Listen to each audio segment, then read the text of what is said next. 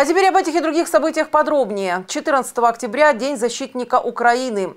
Учрежденный в 2014 году государственный праздник третий раз отмечается в условиях войны. Страну защищают армия, национальная гвардия, добровольческие батальоны. Неоценимую помощь фронту оказали волонтеры. Их общими усилиями на передовой и в тылу удалось отстоять украинскую независимость. Празднование Дня защитника Украины у памятнику Тараса Шевченко прошло по-военному строго и четко. Торжественная церемония возложения цветов – дань памяти всем погибшим за два с половиной года войны в Донбассе, людям с погонами и гражданским. Представители христианских церквей разных конфессий собрались на общую молитву. Молимося за всіх тих, хто від нашого імені захищає і утверджує нашу батьківщину. Нехай Дух Святий підтримує їх.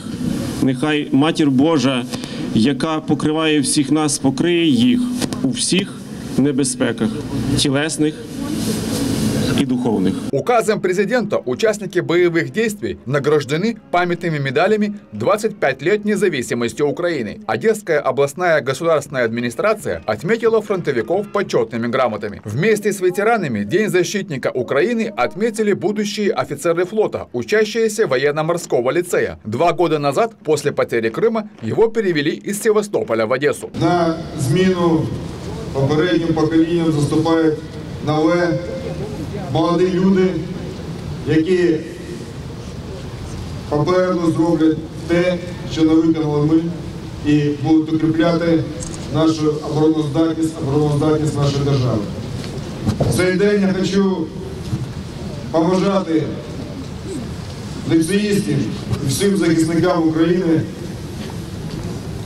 міцного флотського здоров'я, сили духу і непокітної віри в нашу перемогу.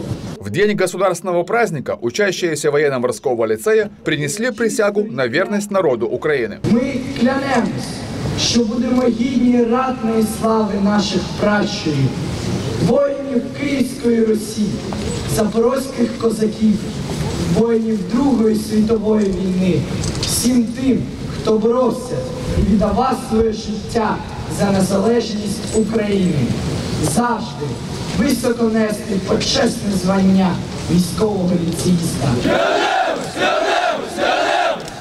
Для Украины сегодня укрепление обороны – вопрос сохранения государственной независимости. Главным условием успеха была и остается готовность каждого защищать свою страну. Александр Виноградов, Евгений Войтенко, телекомпания «Круг».